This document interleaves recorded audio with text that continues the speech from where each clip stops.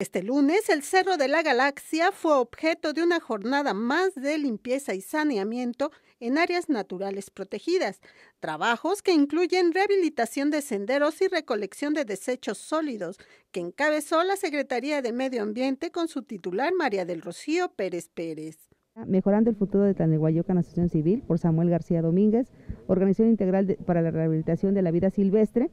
que dirige a Adrián eh, Martínez, guía de turismo en Jalapa,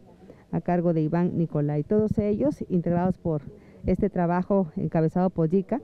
y pues agradecer la confianza y la oportunidad eh, para que sigamos haciendo este tipo de acciones. La Secretaría de Medio también tiene aquí un proyecto este, de rehabilitación de los senderos y de reforestación a través de los fondos de hidrocarburos. Continuando con las acciones de cuidado del ambiente, rehabilitación de senderos y reforestación, la Asociación Civil Gestión Integral para el Desarrollo y la Conservación Ambiental, a través de su presidente Alma Edith López, destacó. Pérez Pérez, secretaria de Medio Ambiente, por dar a YIPCA la confianza y la oportunidad de trabajar en conjunto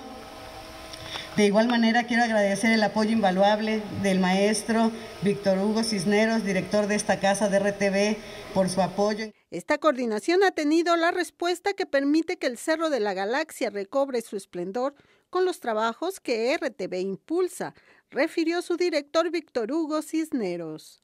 Eh, hoy que podemos, que tenemos el apoyo de la Secretaría del Medio Ambiente, que tenemos el apoyo del Gobierno del Estado, pues podemos aportar un grano de arena y eh, poder regresarle un poquito de lo que nos ha dado el Cerro de la Galaxia en 40 años, resarcir un poco el daño, porque no se puede resarcir eh, todo lo, que eh, se ha acumulado de deforestación en estos tiempos, pero justo en estos momentos, en este año que es muy especial para nosotros, estamos coordinados, estamos trabajando